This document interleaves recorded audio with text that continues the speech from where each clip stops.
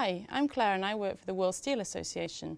I'm responsible for life cycle assessment of steel products within the industry. This is really an approach of looking at the environmental impact of all products over the full life cycle, whether it's a car, a building, a can of Coke. So how did I get into the steel industry?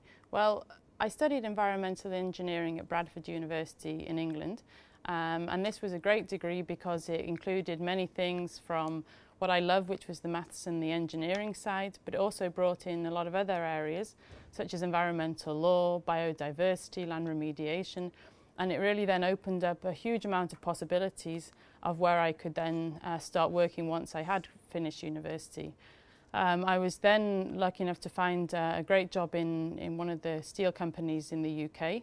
Um, and here I was working in an environmental department of at least 40 different people um, with a real broad area of, of work that I could go into, whether it was from looking at the impacts from uh, steel production to noise pollution to uh, occupational health of the workers.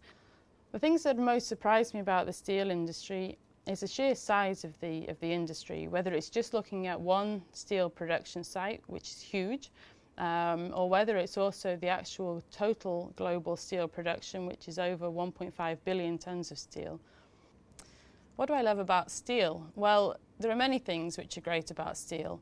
First of all, and most importantly for me, is the recyclability of steel. It's so easy to recycle.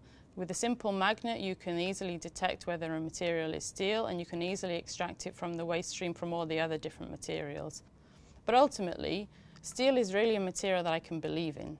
It's something which, you know, is fundamental to our lives. It's everywhere that we are, in our cars, in our washing machines, in our buildings, in our computers. It's really everywhere.